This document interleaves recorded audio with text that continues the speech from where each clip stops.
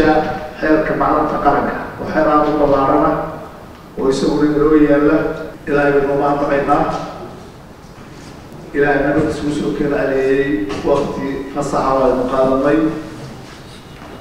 Kadib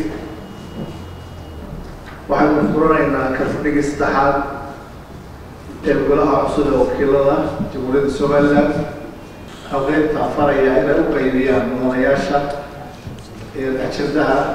ajendaha kalfadhiga ay u qaybiyaan oo ay guddiga howluhu ka soo wada tashadeen shirgudoonka iyo xogeynta gobolka ay soo diyaariyeen qodobka koowaad waa noqon doonaa warbixin. Shirgudoonka golaha wakiilada qodob kale wuxuu noqon doonaa warbixinta guddiga joogtada iyo guddiyada kale ee howlaha golaha ugu maqnaa inay soo gudbiyaan warbixinahoodii qodobka saddexaad wuxuu noqonayaa ka hadalka xaaladda guud ee dalka iyo qiimeyntiisa qodobka afraadna wuxuu doonaa mashaariicda sharci ee golaha hortaalla oo ka kooban lix qodob. Oo ah qabi qoraalka xeerka shirkadaha caymiska. Oo akhriskiisi koowaad ku jira. Guddi gaara baa gacanta ku haysta waa la weydeen. Guddigii dhaqaalaha ugu dhiibtay meel bay soo gaarsiiyeen qur way codsadeen inuu u baahan yahay in dib loogu noqdo dib eegista u sameeyo guddi koob iyo toban xubnood oo afar guddigii hore ee dhaqaalaha ka mid ay ku jiraan baynu u saarnay oo guddoomiyu yahay guddoomiyaha guddiga joogtada sheekh nuur waxaynu ka sugaynaa insha allahu tacaala guddidaas baynu ka sugaynaa xeerkaas oo dhammaystiran oo ay soo tabayatireen qodobka ku xiga ee taa waa xeerka ka hortaga iyo xakameynta ganacsiga iyo taariibka dadka guddiga arrimaha gudaha horay aynu ugu dhiibnay golaha la keenay golaha waasiciyey guurtideeda u gudbinay. Guurtidii way ka soo dhamaatay akhriska saddexaad. Waxa weeye markaa wixii ka bedelaya kaamisay ku soo sameeyeen golaha dib u eegi doona hadduu ku raacayo iyo haddii uu tii hore ansixinayo iyadana waa qodobka labaad ee taada oo ah qodobka afraad.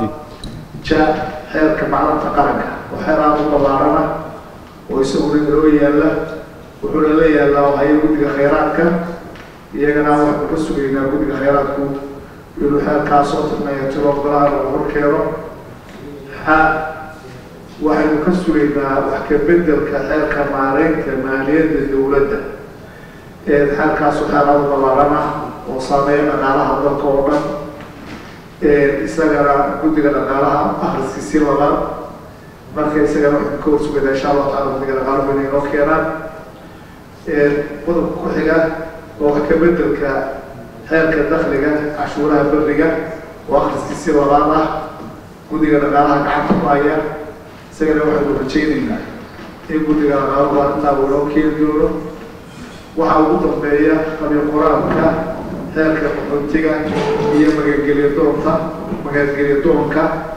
Guddiga shuruucda isagana gacanta ku haya waa qodobka afraad qaybihiisii kala duwanaa lixda ahaa intaasuu noqonaya qodobka shanaadna waa ansixinta mas'uuliyiinta iyo waxyaabaha kale ka yimaada xukuumad soo magacoodo qodobka lixaadna waa xeerarka golaha guurtada ka soo noqda iyo wixii kale ee soo kordho ay ka mid tahay xeerarka ay xoriyaan golaha gudihiisa ka codta ama muuse ku yimaadeen gurigu ay awoodda u leeyihiin.